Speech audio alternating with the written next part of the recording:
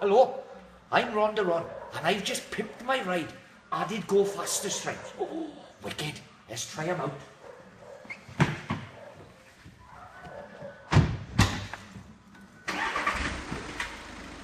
Here we go.